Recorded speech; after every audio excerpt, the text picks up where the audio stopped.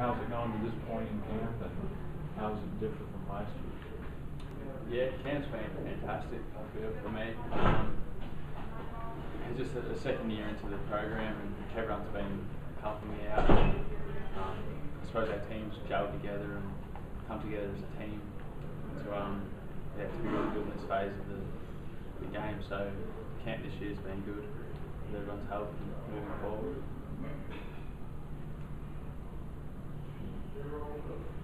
Talk about, um, I guess the experience that you guys have on special teams. It seems to be something that Coach Porter uh, has been talking about it a lot. What do you say in terms of the experience?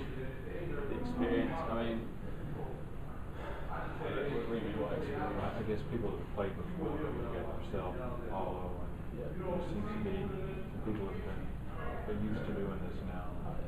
Yeah, well, I mean, from last year we built a good, um, I suppose, chemistry amongst the team. So everybody knows what they have to do.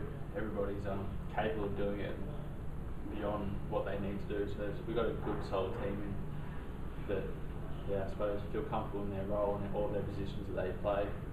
So to be in this phase of the game, I believe we'll have a good, a good advantage in getting some yardage.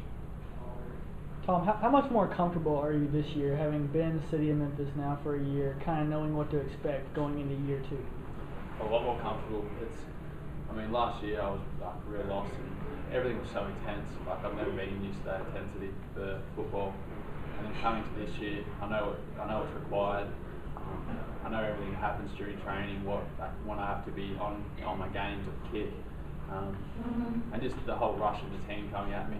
I've um, I've become used to that, and, now I know it's part of the game. So yeah, it's it's been, I feel I've made a lot more improvement um, with the help of everybody else around me. It made me feel a lot more comfortable, and I've got the trust in the guys that are in front of me to um, know that I can kick the ball safely and yeah, make a good play on the ball. So.